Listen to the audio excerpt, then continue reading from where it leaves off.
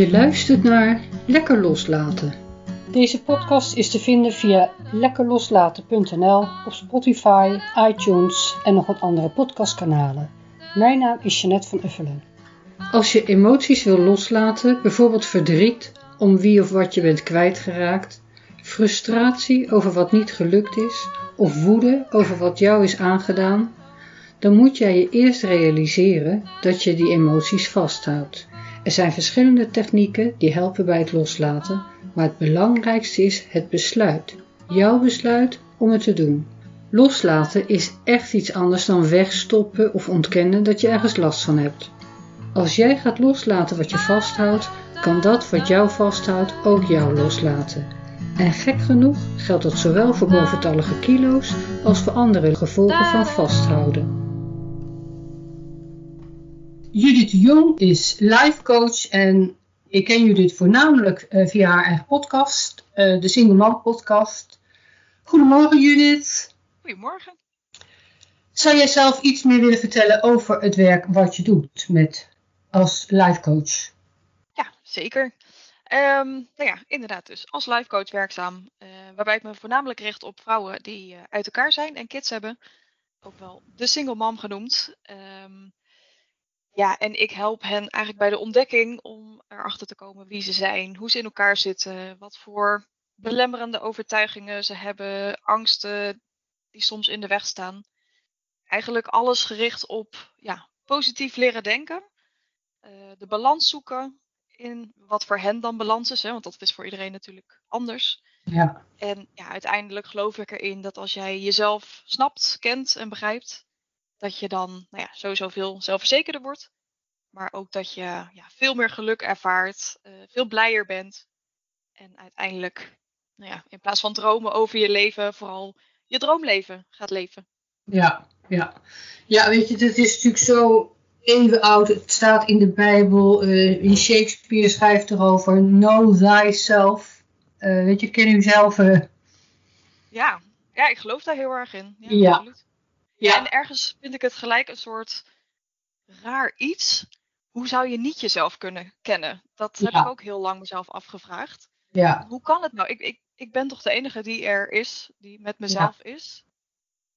Hoe kan dat? Dat je niet jezelf begrijpt en kent. Ja. Heb je daar een antwoord op gevonden? Nou ja, ik denk dus mede door waar je in opgroeit, het nest waar je vandaan komt, eh, de school, je vrienden, eh, familie. Ja, dat dat allemaal maakt dat je jezelf gaat aanpassen op een Ja. of andere manier. En ja, dat het ook niet altijd gewaardeerd wordt als je echt jezelf bent. Kijk maar naar kleine kinderen of zo, die, die super blij staan te dansen. En wat zeggen we? Hey, nou even rustig, zitten en stil zijn. Ja, hoe kan je dan jezelf zijn? Ja. Ja, en dat is net zoiets als inderdaad jezelf worden. Dan denk ik, jezelf worden. Dat kan eigenlijk niet, je bent jezelf al. Maar eh, vaak weten we helemaal niet meer wie we zijn. Nou ja, of zijn er dus allemaal lagen overheen gezet. Ja, Nou ja, ik vergelijk het dan wel eens met een ui. Dat eigenlijk hè, het proces van jezelf leren kennen is gewoon iedere keer weer een laagje van die ui afhalen. Totdat je uiteindelijk ja, bij de kern bent, al vraag ik me af of dat je ooit daar gaat komen. Omdat ik er ook in geloof dat er altijd wel weer een nieuw laagje te ontdekken is. ja. ja dus En een leven lang leren. Een leven lang leren. Leven lang leren, Ja. ja. Ja. En dan denk ik zelf ook inderdaad nog dat het niet zozeer is, eh, hè, dat is het, net zoiets als wat je zegt van die ui, niet zozeer aanleren of nieuwe dingen aanleren per se, maar vooral afleren wat er bijvoorbeeld gezegd is toen jij blij stond te dansen van doe eens even normaal, doe eens even rustig, om daar weer te komen wie je werkelijk bent. ja Dus alles wat is aangeleerd en wat is opgelegd, dat door ouders, ja.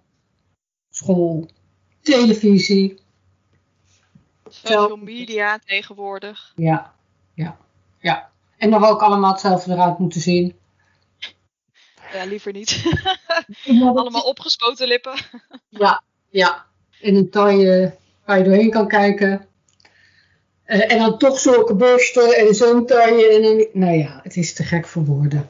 Maar inderdaad, heel veel mensen worden erdoor beïnvloed. Eh, en kun jij iets vertellen over hoe jij kwam op deze doelgroep? De single man? Ehm, ja, nou ja, in eerste plaats uh, omdat ik er zelf in ben. Ja. uh, het was 2014, um, toen mijn, nou ja, inmiddels dus ex en ik besloten om uh, een punt te zetten achter onze relatie. Waarbij we allebei de ervaring ook hadden van ja, het, het, het loopt gewoon niet meer, de koek is op. we hebben overigens nooit ruzie tot op de dag van vandaag niet gehad. Ja. Maar het was ook niet dat je zegt een, een vlammende liefdesrelatie. En nou ja, heel lang ga je wel daarmee door, omdat je denkt, ja, we hebben een kind, ja. we hebben een huis, we, we, hebben fijne families, we hebben eigenlijk alles op orde. Wat zit ik nou te zeuren? En ja, op een gegeven moment kom je toch echt op een punt dat nou ja, ik bijna fysiek, zeg maar, er, er ziek van werd. Dat je gewoon merkt dat het zoveel energie vreet dat je gewoon niet meer kan. Ja. En uh, nou ja, dan ga je in een, uh, in een nieuw verhaal. En dat nieuwe verhaal is dan inderdaad een eigen woning zoeken. Uh, daar weer een fijn plekje van maken. Uh, en vervolgens, als je dochter dan op bed ligt, s'avonds op de bank zitten. En ja, eigenlijk dat je denkt, uh, wat is dit? Wie ben ik dan? Wat, wat wil ik dan? Waar word ik blij van? Ik ken mezelf helemaal niet. Ja. Altijd vanaf mijn 15 in relaties gezeten. Ja. Nou ja, en vervolgens ben je dan ineens 31 en dan denk je, hey, ja, ik ben eigenlijk altijd samen geweest, maar wie, wie is ik alleen? Ja, ja. Die vraag. En uh, ja, ik denk dat veel vrouwen die uit elkaar zijn dat ook herkennen. Ja. En, nou ja, hoe fijn is het als je dat hele proces, want ik geloof echt dat het een proces is, jezelf leren kennen. Dat ja. je dat niet alleen hoeft te doen. Ja. Dat je daarvoor hulp mag vragen. Wat Want hoe oud was je? Gelijk een dingetje is hoor, hulp vragen. Ja. Want hoe oud was jouw kind toen? Uh, ze was drie. Ja, ja. Ja, en uh, nou ja, het gaat dus over lekker loslaten hier. Daar heb je ook al wat moeten loslaten, denk ik, van een bepaald idee over relatie, over kinderen hebben. Dat ging je natuurlijk uh, het plan om dat samen te doen. Ja. Ja, je begint, uh, je begint niet aan een dochter om inderdaad te zeggen van... hé, hey, laten we lekker uit elkaar gaan op een gegeven moment. Dat is niet Nee. je, je startgedachte. Uh, maar goed, ja, dat is wel hoe dat het verliep vervolgens. Ja, Maar dat hele idee natuurlijk van ja, een leven lang samen zijn, al moet ik wel gelijk zeggen dat ik daar toch ook wel een beetje jeuk van krijg. Um, omdat ik ook tegelijk denk, ja, hoezo je hele leven met één en dezelfde persoon, terwijl er weet ik het hoeveel miljard mensen op de wereld zijn. ja. Ik weet ook niet of dat, dat dus aan vernieuwing toe is wellicht. Wat zei je? Of dat dat misschien aan vernieuwing toe is, die gedachte. Ja. Ja, Je leven lang met dezelfde zijn. ja. Maar had je die wel? Of had je daar altijd al mee? Nou, nee, ik, ik denk wel dat dat mijn. Ja, dat is je ideaalbeeld. Hè. Mijn ouders zijn ook uh, nog steeds bij elkaar al, al, nou ja, al 300 jaar, zeg maar. Dat is gewoon een vast gegeven. En ja, dat is wel het idee, in ieder geval, wat je aan je kind wil meegeven. Uh, dus dat was wel jouw ideaalbeeld? Ja, dat was mijn ideaalbeeld. Ja. Ja. Uh, en maar daar denk je inmiddels anders over, of dat inderdaad nou wel de bedoeling is.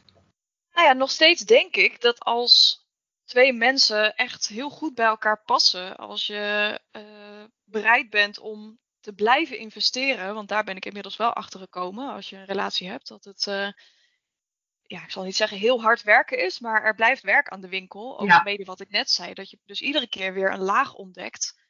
Um, en daarin elkaar meenemen, uh, elkaar blijven ja, aanhaken.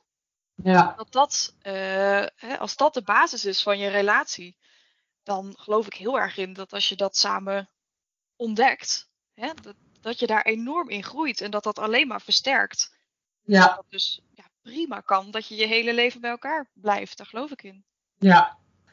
Maar tegelijk zeg je, misschien is het wel aan uh, modernisering toe.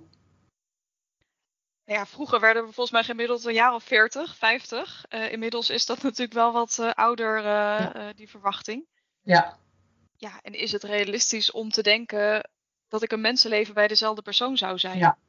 Ja. Nou, inmiddels lukt dat mij niet meer, dus nee. voor mij is de vraag beantwoord. Ja. Ja. Nou ja, en inderdaad, ik stel die vraag natuurlijk ook al een tijdje. Misschien wel hele leven.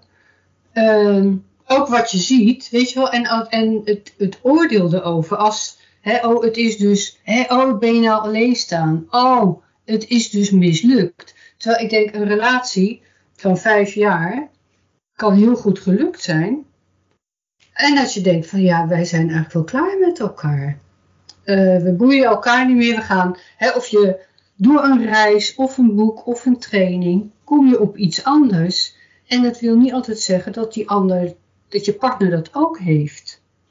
En als je dan, ik denk, het kan ook juist een actie van respect en vooral van liefde zijn, als je dan met elkaar kan zeggen van, nou, ja, laten we lekker apart gaan wonen en onze eigen reis verder gaan maken.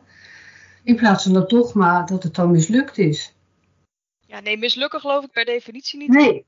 Uh, je gaat altijd iets leren.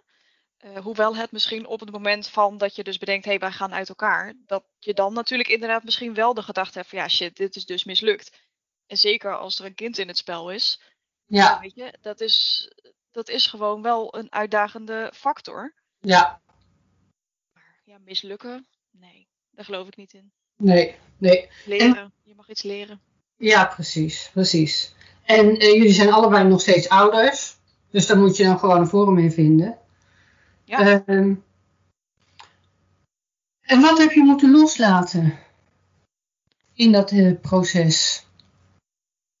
Waarvan je misschien toen dacht van, oh shit, ik wil dat helemaal niet. Maar uiteindelijk moest het gewoon. Uh, dat is een mooie vraag. Ja, ja de, het eerste wat in mij opkomt is dat je dan zoiets uh, jezelf een verhaal gaat vertellen van, uh, ja, zie je wel, ik ben echt een waardeloze moeder.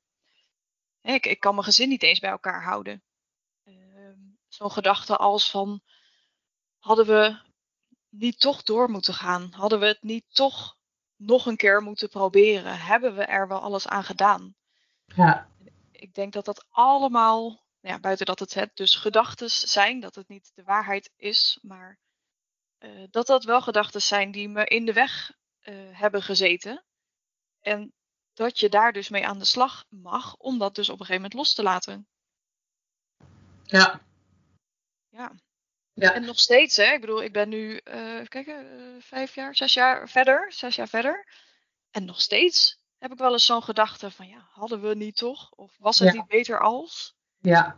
Dat, dat blijft gewoon af en toe een keer de, de kop opsteken, terwijl je, nou ja, rationeel, hè, dat ik echt wel weet dat, dat, dat we niet de toekomst hadden die ik dan in gedachten had.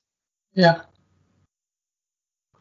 Eh, en zonder dat je allerlei intieme details hoeft te vertellen, maar wat bedoel je daarmee? Wat, wat weet je, zei je had, ehm, soms twijfel je er nog aan van, hé, hey, eh, die toekomst die je in gedachten had, en daarmee bedoel je gewoon leven lang bij elkaar.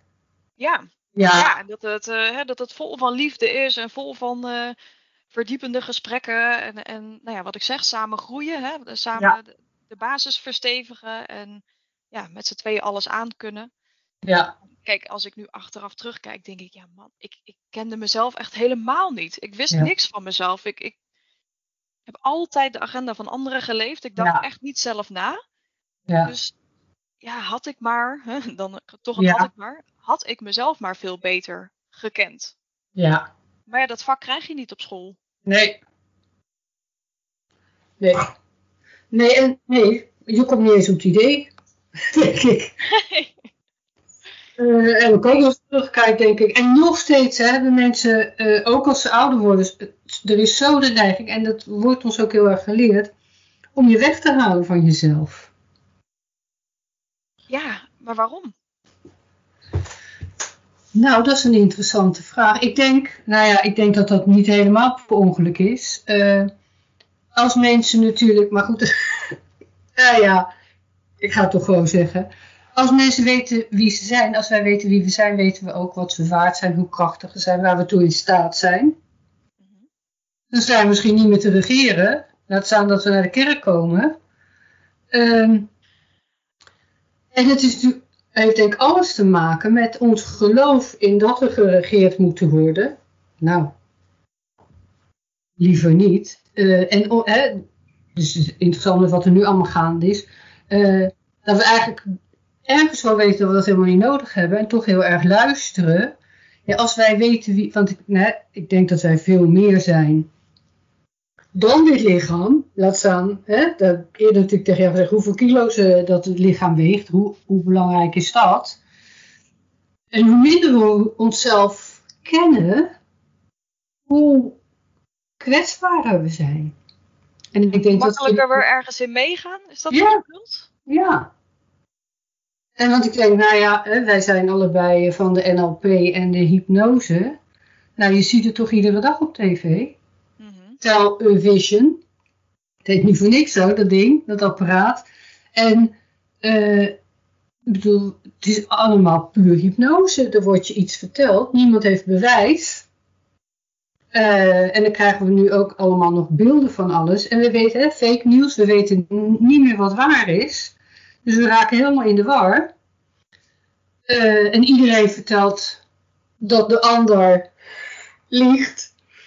Uh, terwijl ik, ik steeds me denk, ja, maar als we echt weten, bijvoorbeeld dat dat lichaam helemaal niet zo belangrijk is, dan we misschien wel, hè, ik, ik denk dat we oneindig bewustzijn zijn. En dat alles bewustzijn heeft en dat alles energie is.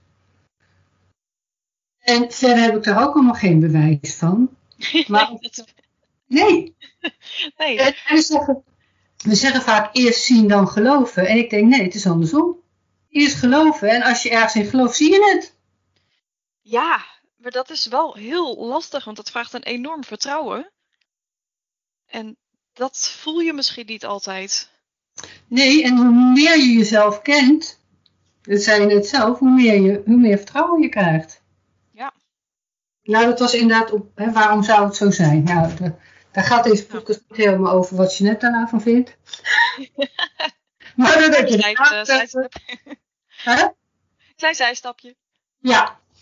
Uh, ik denk zeker dat dat meespeelt. En, uh, en dat het daarom zo belangrijk is dat we op onszelf vertrouwen. En ik denk dat heeft alles te maken met het hele bewustzijn. Dat, gaat over, dat is voelen.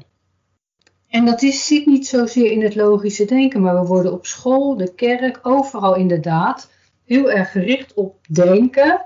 Dat het belangrijk is wat de hoofdstad van Peru is. Dat kwam eigenlijk nog schelen toen ik tien was. Google. Ja, inderdaad. Ja, was je toen nog niet, hè? Je weet, ik ben al heel oud. Uh, maar als ik naar Peru wil, dan kom ik er heus wel achter dat dat Lima is. En hoezo moest ik dat leren toen ik tien was? Had je de winkeler Prins toch vroeger? Precies, al die encyclopedieën die aan de deur werden aangesmeerd aan onze moeder. En die ze nog kochten, ook over hypnose gesproken. Ja. Je kon niet zonder de winkeler Prins of de Reader's Digest, weet ik hoe die shit allemaal heet. Um, of al die jaartallen van al die oorlogen. Ja, nee, ik, ik zeg ook van ik heb veel liever, en dat vind ik dus ook het lastige nu met mijn dochter die dus op school zit. En die allerlei, ja, sorry, onzinsommen moet gaan leren. Ja. Maar ik denk, ja, pak je rekenmachine. Weet je, zo simpel is het. Dat is toch hoe we het nu doen. Ja. En, en natuurlijk is het handig als je iets uit je hoofd kunt uitrekenen. Maar laat alsjeblieft die kinderen aan de gang gaan met mindfulness. Of hoe zorg ik dat ik een positief uh, hè, een positieve mindset krijg? Hoe zorg ik dat ik gelukkig word in het leven? Ja, hoe zorg ik dat ik... Als ik me kloten voel en niet een positieve mindset heb, wat mag ik dan? Mag ik me dan uiten? Mag ik ontevreden zijn? Mag ik voelen? Ja. Uh, en inderdaad, ga lekker tekenen, ga lekker gimmen. Uh, en dan bedoel ik niet dat je een bepaalde watslag in een bepaalde volgorde moet kunnen. Maar dat je gewoon ondersteboven aan de boom mag hangen als je dat toevallig leuk vindt. Ja, maar we zetten kinderen op een stoel en, en we verwachten en vinden dat ze daar dan de hele dag moeten blijven zitten. En ja, voor mij klopt dat gewoon niet. Nee, nee. Dat nee, mogen we loslaten. Ja, ja. Als je het hebt over loslaten, dan... Uh... Ja, nou, dat moeten we loslaten. Ja, je mag tegenwoordig nergens meer moeten zeggen, maar uh, ondertussen moeten we heel veel. En mogen niet. Kun je nog iets vertellen over wat je hebt moeten loslaten? Misschien niet alleen in de situatie van single man worden, maar... Mm, dat is grappig. Ik ben, ik ben op dit moment uh, bezig met een, uh, een coachingstraject. En uh, zij coacht op basis van de Sedona-methode. Ik weet niet of dat je die kent. Kun je er iets over vertellen? Zeker. De, de Sedona-methode gaat echt puur en alleen over loslaten. En zij legt dat heel mooi uit, diegene met wie ik werk, van als je een situatie hebt, dan zijn we heel erg geneigd om, nou ja, eigenlijk als een pen, uh, die gevoelens die daarbij komen kijken, die hou je in je hand zo stevig vast en helemaal verkrampt. En, en zo kijken we dan naar de situatie. En, en we vinden ook nog dat die pen echt bij ons hoort. Um, terwijl zij dus zegt van, hé, hey, leg die pen nou eens losjes op je hand. Ja. En kijk er eens gewoon van alle kanten naar. Van hé, hey, is dit wel, ben ik wel die pen of is dit wel echt van mij? Uh, zie je dan ook dat die pen in je hand bewegingsvrijheid gaat krijgen? Hoe voelt dat? Oh, dat voelt eigenlijk wel vrijer. En zou je ook het besluit kunnen nemen om gewoon je hand om te draaien, om die pen los te laten, om die situatie los te laten? Ja. En nou ja, dan vind ik dus ook heel mooi dat je dus altijd, hè, het leven komt altijd in tegenstellingen. Dus het is licht en donker, het is uh, zwaar en licht. En het een kan niet met het ander er tegelijk zijn. Dus als je een kamer ingaat en het is donker, dan is het niet ook tegelijkertijd licht in die kamer. Dus op het moment dat jij nou ja, je focus heel erg hebt op uh, uh, licht, ja, dan verdwijnt automatisch dat donker van de agenda. En dat zie je dus ook met je gedachten. Als je dus heel erg gericht bent op alles wat niet goed gaat, ja. dan kan je niet tegelijkertijd zien ook wat er wel allemaal goed gaat. Alles wat aandacht krijgt, groeit.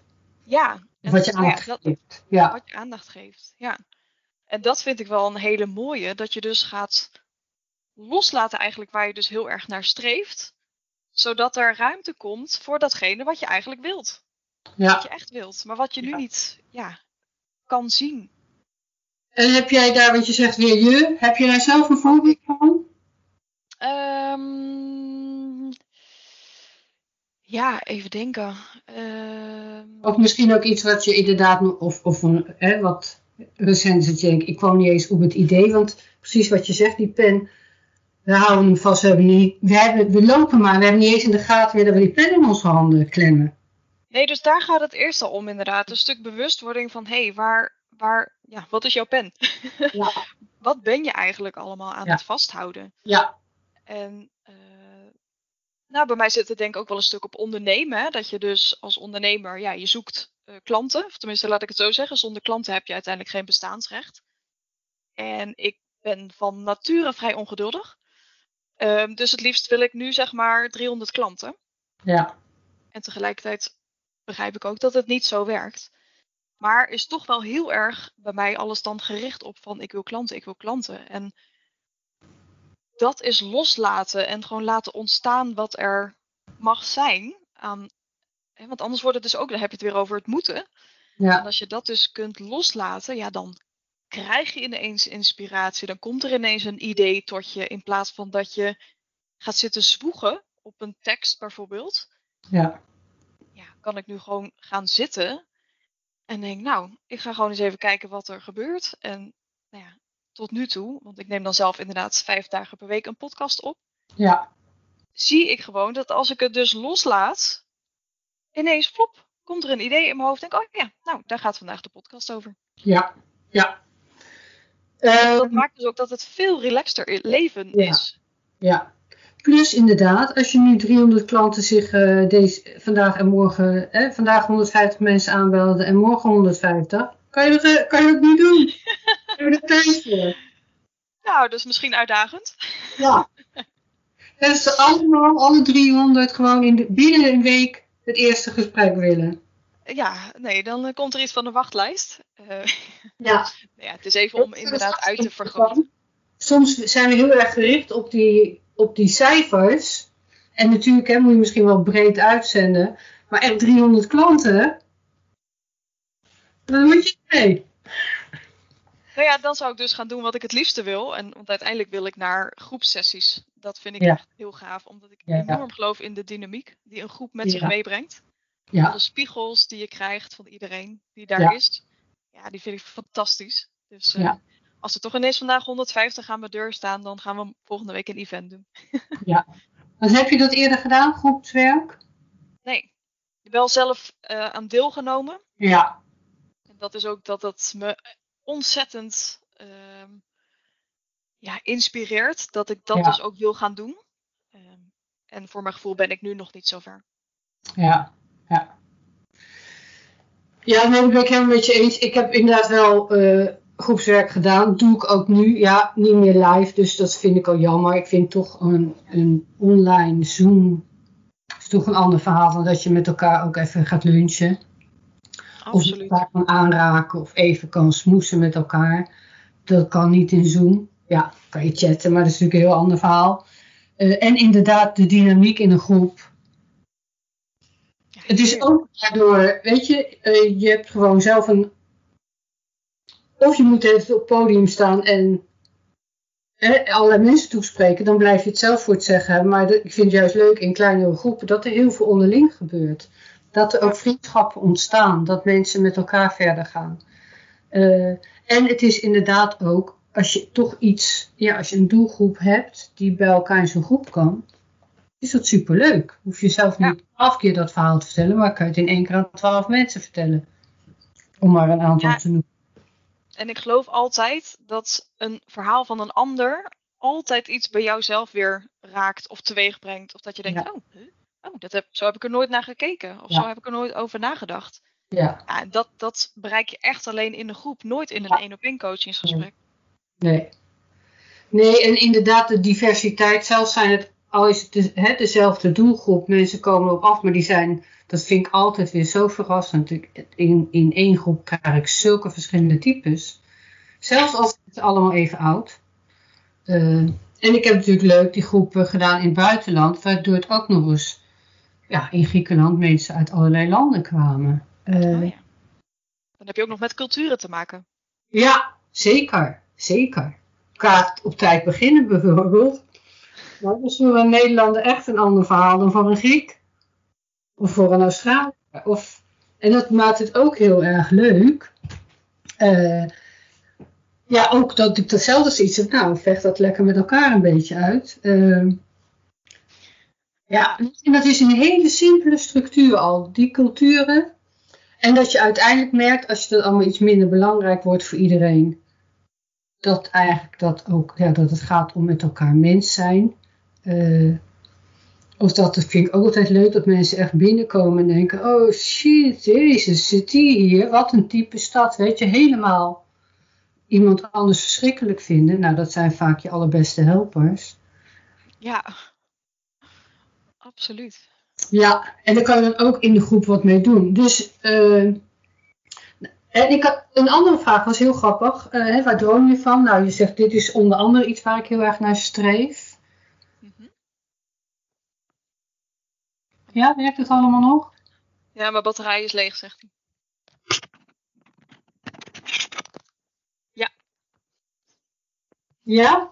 Ja hoor. Uh,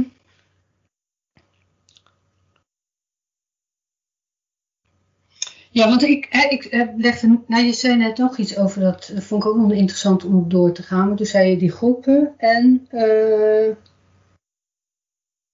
oh die Sedona-methode, dat was je aan het vertellen. Ja. ja, dat het dus gaat eigenlijk over loslaten, is gewoon een besluit nemen. Ja, ja.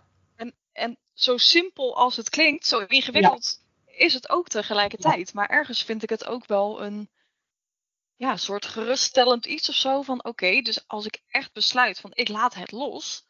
Wat het dan op dat moment ook is. Dat kan in een situatie zijn of een, een persoon die me uh, op dat moment uh, erg irriteert of weet ik veel. Ja. Dat het eigenlijk slechts een besluit is. Iets loslaten. Ja, precies. Ja. Alleen we zijn natuurlijk ook wel soort gehecht vaak aan, aan ja, dat wat je als probleem hebt dat dat ook wel een soort van mijn eigen probleem is. Dat dat ook wel een lekker. Hè, in mijn geval bijvoorbeeld gaat het ook vaak over eten. Ja. Ehm, ik, ik, kan heel goed uh, dingen uh, wegmaken met eten. En ik had toen een keer een coaching sessie waarbij ik um, paardencoaching kreeg. Was trouwens ontzettend tof als je een keer, uh, ik weet niet of je het wel eens gedaan ja. hebt. Ja, verschillende keren. Ja, ik vind het geweldig. Zo onwijs mooie, ja, ja, onwijs mooie methode. Um, en vervolgens moest ik dus, nou ja, mijn, mijn eetding moest ik als, uh, dat, dat was dan een pak hooi, wat daar lag, in midden in de wei. En ze vroegen mij van, uh, kan je besluiten om dat hier te laten? En ik was geneigd heel erg ja te zeggen. En alles in mij voelde ik van, ja maar nee, maar wacht eens even, maar dit is Ja. mijn probleem. Dit hoort bij mij, Ja. dit, dit ben ik. Dit is gewoon een stukje van, van mijzelf. Ja, Dat vond ik zo'n bizar iets. ja, Hè, je kan heel makkelijk zeggen, ik wil iets loslaten. Ja. En ondertussen voel je dus van, ja, maar ik, ik, ik ben dit probleem. Ja. Ja. Dus dat was wel, ik vond dat een ontzettend mooi ja, inzicht eigenlijk voor mezelf. Ja. Eh, eh, de grap was overigens dat dat paard vervolgens natuurlijk aan dat pak hooi ging eten. En dat ik dus zei van, oh, ideaal. Mijn probleem wordt nu gewoon opgegeten. Ja. Ja. Ja. Ja, ehm, en inderdaad, wie, want dat, dat, en kijk, ik heb dit lekker loslaten genoemd, omdat in mijn dagelijks werk eh, dat mijn favoriete zin is. Die staat ook op mijn visitekaartje. Let it go. Eh, dat is, eh, ik heb natuurlijk Engels en Nederlandstalig. Ehm, en ik doe dat EFT-tapping en dan zeg ik, en dat raad ik ook mensen aan als ik het ze leer. Wat het, en dan zeg je tegen jezelf, wat het ook is, in geval van stress, oh ik voel nou ineens van alles, wat het ook is, ik laat het los en laat het gaan. En doordat ik zeg wat het ook is, ga ik dus niet meer analyseren, wat is dit? Mhm. Nee, ik laat het los, wat het ook is. Nou, dat is zo moeilijk voor mensen om te doen, precies wat jij zegt. En ik vraag dus ook aan mensen, ja, want wie ben jij zonder dit probleem? Dat weten ze helemaal niet, maar we gaan niet loslaten. Wat wordt er mogelijk als je dit probleem niet hebt? Ja, dan word ik straks ineens zomaar heel erg gelukkig. Ja. Dan kan ik wel afvallen. Bijvoorbeeld, hè, dan geldt dat heel vaak. Het eetprobleem is natuurlijk ook allemaal emotie onder. En de reden dat je 30 kilo te dik bent, ook al bouw je daar iedere dag van, kan wel zijn doordat je, nou, ergens een probleem of misbruikt bent, of aangerand, of verkracht, of wat dan ook. En dat je ergens een overtuiging hebt, als ik 30 kilo te zwaar ben, ben ik in ieder geval niet aantrekkelijk. Wat op zich helemaal niet waar is, want er zijn ook genoeg mensen die dikke mensen nog aantrekkelijker vinden dan dunne mensen. Maar dat is een soort, daar zit vaak dan angst. Ja, als ik het los. Dus hè, mensen gaan het ene dieet naar het andere om dat probleem op te lossen. Maar dat probleem gaat helemaal niet over eten. Eten is het gevolg, is het symptoom, is de oplossing. Dus als je niet bij dat probleem komt, en dan vindt de vraag dat, ja, wie ben ik zonder mijn problemen? Ja, mijn probleem is gebaseerd op dat ik mijn moeder haat, of mijn vader. Nou, dat moet ik blijven doen, anders ben ik mijn probleem kwijt. Anders kan ik, want je kan inderdaad in het hier en nu, precies wat jij zegt, je kan nu kiezen om het los te laten. Ja. Dat is inderdaad een besluit. En dat heb ik inderdaad bij de intro van deze podcast, zeg ik dat ook. Loslaten, eh, het enige wat nodig is dat jij nu het besluit neemt. Daarna los je het op. Maar dat, mensen gaan allerlei vragen stellen. Van ja, hoe moet dat dan? En wat gebeurt er dan? Ja, dat weet ik ook niet. Nee, maar dat is dus, en dat snap ik wel, het is dus een stukje angst voor het onbekende. Wat jij ook zegt van, ja maar wacht eens even, wie ben ik zonder mijn depressie? Of wie ben ik zonder mijn eetprobleem? Ja. Of wie ben ik zonder, nou ja, vul in wat je probleem Ja. is. Eh, want dat was wel een stukje zekerheid, want dat weet ik hoe dit is. En mijn meeste Dat Los zijn te laten, Ja, ja, want dan heb ik bijvoorbeeld, hè, als ik, eh, eh, mijn probleem is eh, dat ik nou, altijd moet zeuren over mijn man. En dat doe ik met mijn zussen en met mijn beste vriendinnen. Ja, als ik dan het probleem met mijn man oplos en daar niet meer over wil zeuren, dan zijn we uitgepraat. Dan, eh, waar moeten we het over hebben? ja, maar zo, zo zit het vaak in elkaar. We zijn, onze problemen zijn sociaal gelinkt, fysiek gelinkt. En het is vaak oude shit waar je überhaupt niks meer aan kan veranderen. Maar hoe zie jij dat dan in jouw werk? Als jij dus iemand, nou ja, bij jou gaat het dus over lekker loslaten. Nou, iemand laat het los en tegelijkertijd komt er dus misschien een stukje angst bij kijken van, ja, maar wat Ja. nou als ik gelukkig word? Hoe hoe Ja. zie jij dat dan? Wat, wat adviseer Nou, jij dan? Ik vraag dus heel erg door, inderdaad, op dat besluit. Want dan merk ik vaak, mensen zeggen inderdaad heel makkelijk, wat jij zegt hè, bij die paardencoaching. Ja, natuurlijk wil ik dit loslaten. Maar dan voel ik heel snel, ik werk heel intuïtief. En heel erg met het gevoel. Dus je kan het hier wel vinden. Eh, en dat je 20 kilo te zwaar bent, maar wie bepaalt dat nou eigenlijk?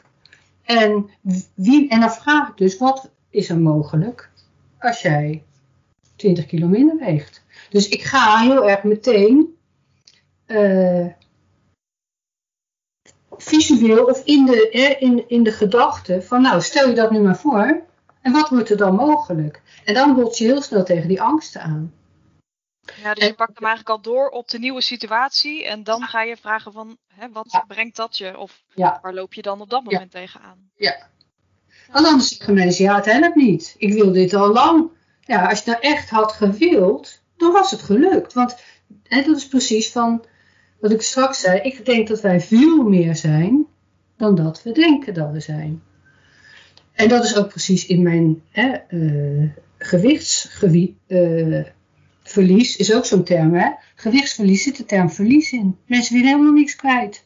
Nee. Dus als je het over kilo's kwijtraken hebt, ja, er zit ook heel veel kracht in woorden. Dus mm. als je die helemaal niet kwijt wil, dan hou je ze vast. Hoe dan ook. Nou, we hebben, naast dat is natuurlijk nog het hele dieetcircus van jezelf uithongeren en dat goed maken met eten. Maar ik ga dus inderdaad, ik voel dat meestal, uh, en dat, of dat vertellen mensen ook, dus ik ga heel erg door op, weet jij zeker dat je wil veranderen? Nou, dat vinden mensen al bloedirritant überhaupt dat ik dat vraag. Ja, kom je toch niet voor niks? Maar ik kan jou niet veranderen. Jij moet inderdaad, en dat is precies wat jij er straks zei, het besluit nemen om die pen los te laten. Maar vaak weten mensen niet eens dat ze iets vasthouden. Omdat we zijn geprogrammeerd. Ik ben en, het, en het al zo lang doen, ja, dat het gewoon normaal is geworden dat je in de kamp zit. Ik merk dat bij mezelf ook nog steeds. Dat ik dingen doe waarvan ik dan ineens denk. Ja, zo eigenlijk? Dus ik ben, het is ook, en ik doe het natuurlijk al jaren, maar iedere keer als ik, dan denk ik, wil loslaten. Uh, bijvoorbeeld ook inderdaad in het ondernemen altijd haast hebben. Ik was nooit klaar. Altijd dat gevoel van, oh ja, ik moet nog dit en ik moet nog dat. En dat ik dan af en toe heb ik het in de gaten. Of dan voel ik het gewoon in mijn schouders. Maar als je dat maar lang genoeg doet, voel je het niet meer. Dan denk je, dit nee, precies. Ja, dan denk je dat dat normaal is. Dat is je nieuwe normaal. Ja. En af en toe, gelukkig, schiet ik nog wakker. En dan uh, denk doe even normaal joh. Ja, wat is normaal hè? Dat is, uh, vind ik ook altijd een mooie vraag. Precies, geen idee. Ook tegen onze kinderen. Nou, doe eens normaal. Ja. Ja. Voor ja. is dat misschien heel normaal. Ja. Alleen ik heb een andere standaard. Ja, ik zeg ook heel vaak tegen mijn klanten, doe eens gek. Ja, en dat is ja, die is eigenlijk leuker. Precies wat dat is. En, maar ook tegen mezelf. En dan denk je, gooi gewoon die laptop dicht joh. Uh, neem gewoon, ik heb het geluid op mijn telefoon uitstaan. Ik heb geen mail meer op mijn telefoon. Heel van die dingen. Ik denk, voor het weet je met het apparaat. Uh, ga lekker in de zee zwemmen. Weet je, dat soort dingen. Nou, dat heb ik je eerder over verteld. Dat is mijn vaste routines. Gisteren zijn we echt 35 minuten in de zee geweest. Ja, doe eens nou, gek. Doe eens gek, ja. ja. Maar heel erg leuk en dat knap je dus heel erg. Ik denk dat is fysiek voor mij zo goed. Daarin voel ik ook. Als je, ik voelde ik dacht dit is, en dat zei ik ook tegen mijn zwempartner. Dit is zo'n oerkracht. En op een gegeven moment zei ik, ik denk dat we eruit moeten. Omdat ik er helemaal niks meer voelde van kou of warm of het was alleen maar mooi. En we hadden namelijk de zon en de maan en een knalblauwe lucht. Geen wind. De zee was wel heel sterk. Dus van die manshoge golven. Ja, het was gewoon en spelen. Maar op een gegeven moment dacht ik, oh ja, ik geloof dat ik nu helemaal niks meer voel. Misschien moeten we er wel uit. Want nou, ik vind het uh, een helder actie hoor. ja, uh, maar dat helpt mij dus, dat heeft mij ook heel erg altijd geholpen in het loslaten. En daarom verplicht ik mezelf ook om dat twee keer in de week te doen denk, er zit zoveel meer in het voelen. Want dat is precies waar we dan vaak ook zo'n last van hebben. We, we, voelen een bepaalde kramp, maar we hebben helemaal niet meer in de gaten dat we zo door het leven gaan. Om maar bij jouw symbool te blijven. Uh, dat is echt dat eerste stuk bewustwording heb je nodig. En, en daarvan geloof ik dat je dat dus niet altijd alleen kunt. Nee, dat het voor jou zo normaal is. Ja, ja. En dan, is het wel heel fijn als je een kind hebt. Die af en toe zegt, hé hey mama, wat doe je nou eigenlijk? Uh, of mensen die je heel irritant vind, vindt. En die zeggen soms iets. En dat je denkt, zit, uh, eens even. Maar daar zitten vaak ook. Anderen kijken gelukkig anders naar mij dan ik zelf doe. En die kunnen dan inderdaad dingen geven. Van ik denk, joh, hoe je niet mee? Hoezo? Tot muur. Terwijl als je daarna gaat luisteren. Uh, omdat we vaak helemaal niet weten wat we allemaal geprogrammeerd doen. En je zei heeft dat, ik ben bezig met die methode, want er is natuurlijk, vaak zeggen we ik moet het loslaten of ik wil het loslaten. Um, heb je ook nog iets... In, in de Sedona-methode gaat het over, kan je, ja eigenlijk kan je je voorstelling maken dat je het loslaat, dat je het even naast je neerlegt. Ja. ja. Dus het gaat niet over je moet, of hè, het gaat echt over van, ja, kan je je voorstellen dat je dit gewoon nu even parkeert? Ja. En dat geeft ook gelijk wat, wat, wat meer vrijheid, is mijn uh, gevoel er nu bij. Maar goed, ik ben net uh, drie dagen begonnen. Dus, uh. Oké, want dus parkeren en loslaten is volgens mij ook nog een verschil. Ja, nee, dat klopt. Ja, tuurlijk. Ja. En hoe kom je er dan? Nou goed, je bent drie dagen bezig, dus misschien moet je niet al veel over lastig vallen. Want uh, nou, en ik wou zeggen, zo, of je het nou moet van jezelf. Ik, dat is denk ik wel belangrijk, het verschil. Moet ik het van mij? Uh, moet, ik, moet ik bijvoorbeeld 10 kilo afvallen? Of vindt mijn vriend dat ik moet afvallen? Of mijn zus? Dat is ook nog een heel verschil. Van, uh, en ook als we zeggen, ik wil het loslaten. Uh, daarvoor is natuurlijk altijd eerst nodig dat je merkt dat je ergens last van hebt. En gisteren zei iemand dat nog, die had dit uh, sessies bij mij gedaan. En die zei iets over haar partner, van ja, ik zie dat hij nu eigenlijk precies hetzelfde doet als zijn vader. Maar als je er last van krijgt zelf, zelf dan kun je er iets aan doen. Ja. Uh, en dat is vaak ook, dat, dat is ook een kwestie van natuurlijk bewust worden. Van ik heb last van mezelf. En vaak hebben we dat niet eens in de gaten. Dat is natuurlijk ook iets wat ik heel vaak zeg tegen mijn, tegen mijn mensen, mijn klanten. ik wou zeggen tegen mensen en ik wou zeggen mijn klanten. Mijn mensen. Mijn mensen. uh, maar ook tegen mezelf. Er is er maar één waar, die ik überhaupt kan veranderen. Dat is deze. En dat is al een heel project. Ja. Uh, dat is een levenswerk. ja, ja. ja. Uh, en dan is inderdaad nog, hè, uh, veranderen is ook natuurlijk een, een dubieus woord, want het, het, tegelijkertijd gewoon meer zijn wie ik werkelijk ben. En ja, als het maar helemaal zou zijn, hè, dat binnenste van die ui, dan zou ik verder denk ik niet zo heel erg problemen hebben. Want dan zou ik inmiddels ook al lang hebben losgelaten dat ik nog iets zou aantrekken van wat jij ervan vindt of de buren, of wie dan ook. Ik wil zeggen, vind je het belangrijk wat ik vind? en we zitten natuurlijk allemaal in gevangen in wat de ander van ons vindt. Ja, wel leuk. Ik heb toevallig vandaag een uh, aflevering komt er online uh, over vergelijken. Ja. Het vergelijkingsmonster noemen we het. Ja.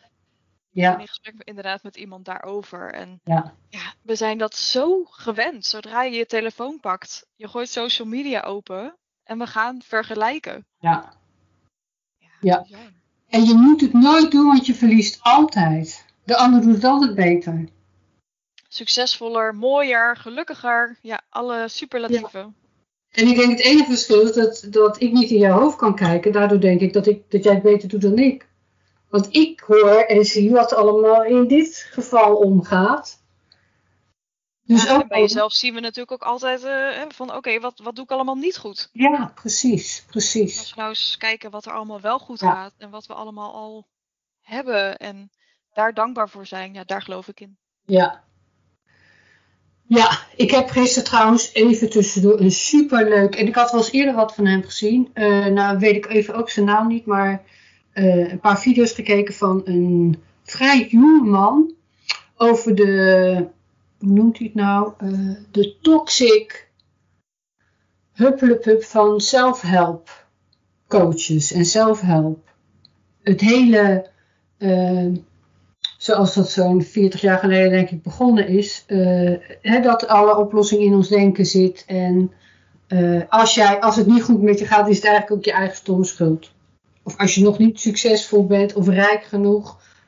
en er zit, wij zitten natuurlijk ook heel erg in dat veld. Maar ik vond het zo verademend, een verademing, heel interessant eigenlijk. Als je het interessant vindt, stuur ik je een link. Want ik moet hem even zelf opzoeken. Ja, ik ken het uh, niet. Dus, nee. Stuur gerust door. Ja, echt verfrissend. En, want we kunnen heel ver gaan daarin. Dat je inderdaad altijd maar denkt, oh als ik het niet goed doe, dan is dat mijn... Of als ik niet totaal gelukkig ben, dan is dat mijn schuld. En dat je, is iets anders dan dat je jezelf wil verbeteren. Of dat je zelf, hè, de valkuil kan zijn dat je denkt, oh jezus, ja, ik ben ook niet die en niet die, dus. Nou ja, volgens mij is het heel belangrijk uh, dat je verantwoordelijkheid pakt over je eigen leven. Dat je dezelfde regie overneemt. Ja. Daar geloof ik in. En, en ja, niet jezelf de schuld geven en al helemaal niet de ander, want daar schiet je sowieso niks mee nee. En inderdaad zelf ook de maatstaf bepaalt. Want ik heb nooit zo de behoefte gehad om daar per se net zoveel als uh, Tony Robbins te moeten zijn qua populariteit en uh, overal herkenbaar te moeten, uh, herkend te worden. Of, uh, of nou noem er nog maar een paar, weet je, of om drie keer per dag live te zijn op Instagram of Facebook. Ik moet er niet aan denken. Maar dat is natuurlijk, als ik ook niet per se zo populair en zo rijk hoef te zijn, hoef ik dat ook niet te doen. Uh, dus het is inderdaad heel erg van wat is mijn diepere laag, voor mij dan, ik ben nogal van de diepgang. Uh, ja, wat wil ik nou werkelijk betekenen? Want uh, als ik heel veel geld zou verdienen, ik bedoel, uh, een groot, reizen, een groot huis en zo, dat kan ik allemaal toen niet meenemen. Dus daar heb ik ook nooit mijn best voor gedaan. Ik heb aan mezelf geknutseld. Gereisd en vooral ook met mijn kind gereisd. Weet je, nou dat kan je allemaal niet vasthouden, maar... Uh, mooie ervaringen. Precies, precies. Um, dus da daarin ook weer van, hé, hey, hoeveel... Als je terug naar jouw 300 klanten, hoeveel heb je er eigenlijk nodig om gewoon super blij met jezelf te zijn? Nou ja, en daar wil ik het niet eens van laten afhangen. Ik wil niet het geluk. Nou ja, ik, ik, heb, ik wil niet 300 klanten nodig hebben om mezelf gelukkig te voelen. Nee, precies. Ik wil die voorwaarden niet inbouwen. Nee. Ik wil gewoon intrinsiek mijn geluk hebben. Ja. En, nou ja, dat ik daarbij al die mensen dan ook mag helpen. Ja, daar word ik gewoon wel heel blij van. Ja, ja. Dus daarvan zei je het ook als voorbeeld van ja, hoe belangrijk is dat eigenlijk? Dat zo'n doel van die 300 klanten, daar kan je in verliezen. Ja. En als je dan weet. Ja. Hè? Ja, daar kan je inderdaad helemaal in, in, in, in, opgaan. En dat het dus nooit goed genoeg is. Nee. Ook al heb ik er dan 299, dan is het toch niet goed genoeg. Nee, precies. precies. En zo wil ik niet leven. Nee. Nee, want als je een paar klanten hebt die heel tevreden over jou zijn. En je hebt daar net genoeg inkomen van. Om het leuk te hebben. En dat is natuurlijk ook. Daar, dat daar is je eigen maatstaf gewoon heel belangrijk in. Uh, ik, wil, ik, denk dat we misschien wel allemaal iets willen betekenen in de wereld voor een ander. Uh, maar het kan ook zijn als je je buurvrouw aan de overkant af en toe helpt, die het zelf niet kan. Weet je, en die hele kleine dingen, dat zie je dus soms ook van die mensen die zelf al heel oud zijn en die nog zoveel betekenen in een straat. Voor een paar anderen. Ja. Hoeven ze lekker niet de hele dag op social media te zitten. Nee, nou dat lijkt me ook wel wat. Als we daar eens mee stoppen. ja, ja. Um, wat zou je zelf nog willen loslaten? Waarvan je denkt, oh ja, dat zou ik eigenlijk nog wel willen. Maar ja, uh, tegelijk ook niet. Of dat kan niet. Of... Nou ja, wel dus altijd een afhankelijkheid van als ik dit, dan dat. Dus uh, natuurlijk werkt het bij mij ook zo. Van als ik zoveel klanten heb, dan eh, ben ik succesvol? Noem maar even een slecht voorbeeld. Ja. wat is succesvol anyway? Um, ja. Maar die, die, die voorwaardelijkheid van alles, ja. die zou ik wel los willen laten. Ja. Dat Ja. zou wel heel fijn zijn. Als ik zoveel geld op de bank heb, dan ben ik financieel vrij. Als ik, Ja. nou ja, dit, dan dat. Ja, Dat allemaal los kunnen laten. En wat ik zeg, gewoon hè, eigenlijk andersom gaan denken. Dus nee, ik ben gelukkig. En leuk als ik dan ook nog klanten kan helpen. Weet je, die, Ja. dat lijkt me wel eh, ja, een hele mooie. ja. Of ik ben financieel vrij. Het is natuurlijk ook maar eh, een subjectief begrip. Ja, ja, zeker. Zijn we allemaal lang vrij. En, eh, eh, en wat is daarvoor nodig? Om dat los te laten? Ehm, wat is daarvoor nodig? Ja, het besluit nemen. Ja. Mezelf niet meer gek maken in mijn hoofd. Ehm, Ja. het denken is loslaten. Ja, Dat is eh, ja, altijd maar die mind die zo sterk is. ja, En waar de antwoorden niet, niet zitten. Ja, Die zitten in je hart of in je buik. Of precies. Ja, veel meer richting het gevoel in ieder geval. ja. Nou, dat vind ik een prachtige af- afsluiting. Want het leuke is dat je dan... Ik, hè, ik ga er altijd vanuit, de oplossing zit in jezelf. Eh, Ja. En jij geeft ook het eh, meest heldere antwoord op je eigen vraag. Lekker loslaten. Ja, super. En bedankt voor dat net, want eh, ik zag het wel, maar het drong helemaal niet tot me door. Ja, de tijd vliegt als je het naar je zin hebt. Wat zei je? Ik zeg, de tijd vliegt als je het naar je zin hebt. Inderdaad, inderdaad. Eh, bedankt. Jij ook bedankt. Ik vond het leuk. Ja, ja. Heb je, ben ik nog iets vergeten wat jij heel belangrijk vindt? Nee, volgens mij hebben we hele belangrijke dingen aangeraakt. Eh, Ja, Ja, hopelijk ter inspiratie weer voor anderen. ja, ja. Dat zou ja. mooi zijn. Nou, ik vond het mooi en, eh, en ja, leuk dat je eigen vragen hebt beantwoord. Dat is eigenlijk eh, waar we naar streven. In jou. En eh dankjewel. Jij ook bedankt. Nou, we keep in touch. Zeker. Succes met je podcast. En met alles. Dankjewel. Oké, fijne dag verder. Dankjewel. Goedjes. Doei. doei. Superleuk dat je geluisterd hebt. Hartelijk dank daarvoor, mede namens iedereen die heeft bijgedragen aan deze podcast. Ik hoop natuurlijk dat we het je iets makkelijker gemaakt hebben, want daar doen we het voor. Luister nog even naar een paar belangrijke dingetjes. Wil je meer horen? Abonneer je dan op deze podcast. Volg de instructies in de app waarmee je geluisterd hebt. Word je een beetje blij van wat je gehoord hebt in deze podcast? Deel dan die blijdschap en geef ons een review, zodat ook anderen gaan luisteren. En natuurlijk kun je de podcast delen via social media of doorsturen aan mensen waarvan jij denkt dat ze nog iets lekker los te laten hebben. Tot de volgende podcast.